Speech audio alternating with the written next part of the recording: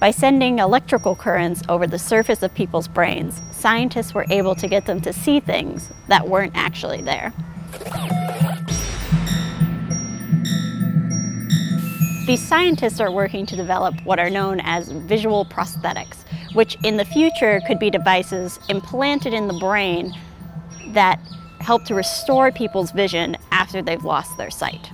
In this particular study, they implanted an array of electrodes, which transfer electrical currents into tissues, onto the surface of the visual cortex, which is located at the very back of the brain.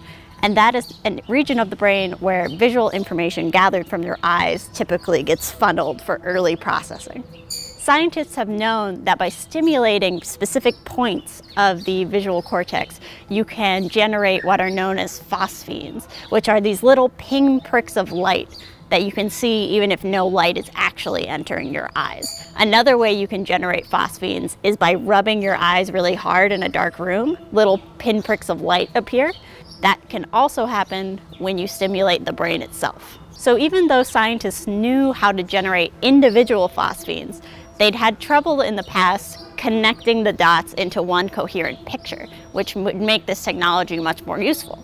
In this experiment, they managed to connect the dots in this way and get the participants to see different letters. So here in this video, we can see one of the participants in the study. He has had electrodes implanted on the surface of his brain under the skull, but it's being stimulated by that device you see on top of his baseball cap. When the device is stimulated, the idea is that this electrical current is being sent through a flurry of electrodes in the shape of a letter that the participant will then draw on the touch screen in front of them.